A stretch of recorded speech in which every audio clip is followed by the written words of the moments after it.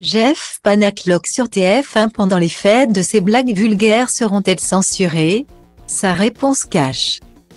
Pour les fêtes de Noël, les téléspectateurs de TF1 pourront notamment compter sur Jeff Panaclock pour les divertir. Le vendredi 23 décembre, la première chaîne diffusera le nouveau spectacle de l'humoriste intitulé Jeff Panaclock Adventure.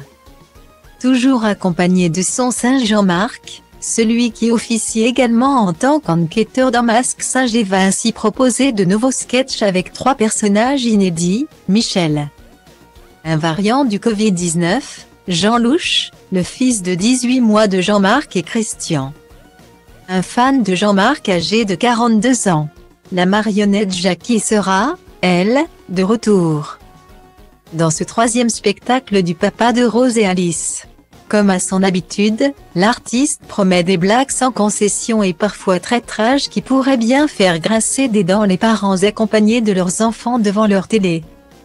Lors de sa participation à Masque Singer, Jeff Panaclock avait d'ailleurs plusieurs fois suscité des critiques sur les réseaux sociaux en raison de ses interventions osées en prime time et dans une émission très familiale.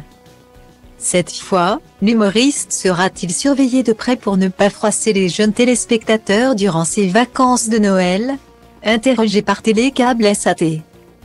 Jeff Panaclock a été très clair, TF1 ne va censurer aucun passage de son spectacle. TF1 m'a dit qu'il serait diffusé dans son intégralité. Même s'il a été visionné par un comité pour déterminer à partir de quel âge il est conseillé. A-t-il confié? L'occasion également pour lui de répondre aux critiques au sujet de son humour vulgaire.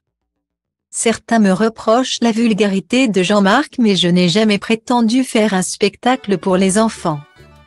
Même s'ils viennent me voir avec leurs parents, a-t-il expliqué. Ils ne comprennent pas tout.